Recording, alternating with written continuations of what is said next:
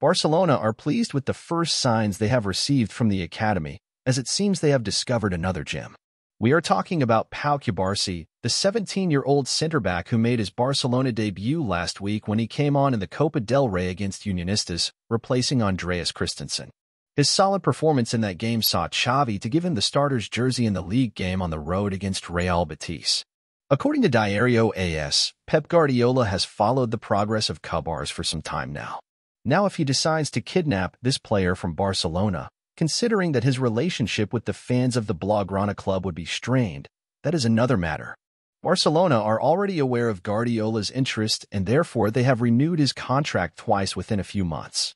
Joan Laporta does not want him to leave for the Premier League, as Cesc Fabregas and Gerard Piqué did. Cubarsí is described as a perfect mix of Piqué and Carles Puyol. A defender who is aggressive and likes this part of the game like Puyol, but also a player who likes to play with the ball like Piqué. While Barcelona's transfer policy can be criticized, Laporta has generally done a good job with the talents of young people in recent years.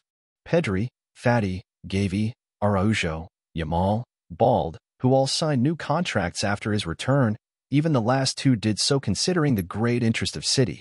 The Blaugranas will hope that Cubarsí will also follow this path.